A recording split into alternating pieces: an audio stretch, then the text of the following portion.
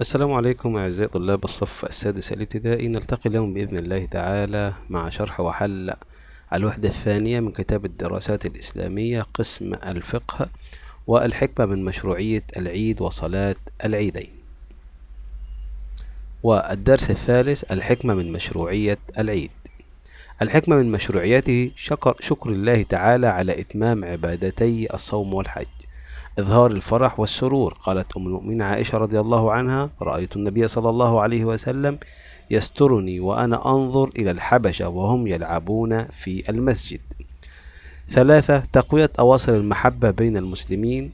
قدم الرسول الله صلى الله عليه وسلم المدينة ولهم يومان يلعبون فيهما فقال ما هذان اليومان؟ قالوا كنا نلعب فيهما في الجاهلية. فقال رسول الله صلى الله عليه وسلم إن الله قد أبدلكم بهما خيرا منهما يوم الأضحى ويوم الفطر أي يوم عيد الأضحى ويوم عيد الفطر.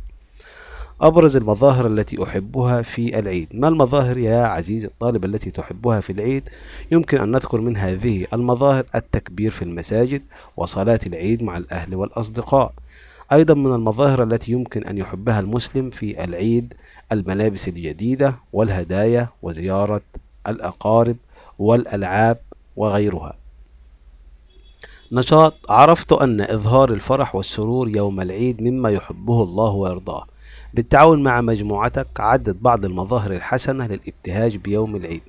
من هذه المظاهر التي تعبر عن الإبتهاج بيوم العيد وهي مظاهر حسنة زيارة الأقارب والأصدقاء تهنئة الجيران والأهل بالعيد إظهار الفرح والسرور في العيد التطيب والتزين ولبس لباس جديد وإعطاء العيدية للأطفال الصغار. هذه بعض مظاهر التي تدل على الفرح بيوم العيد. التقويم. أضع علامة صح أمام العبارة الصحيحة وعلامة خطأ أمام العبارة غير الصحيحة. عدم زيارة الأقارب في يوم العيد هذه عبارة خاطئة بل من أساسيات العيد هو زيارة الأقارب والأهل والأصدقاء وصلة الرحم. من إظهار الفرح والسرور يوم العيد اللعب المباح. هذه عبارة صحيحة نعم.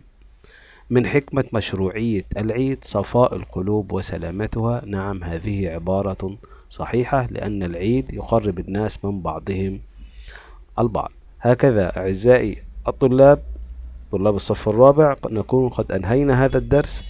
تابعوني ليصلكم كل جديد وإذا أعجبكم الفيديو لا تنسوا الاشتراك في القناة. دمتم في أمان الله والسلام عليكم ورحمة الله وبركاته.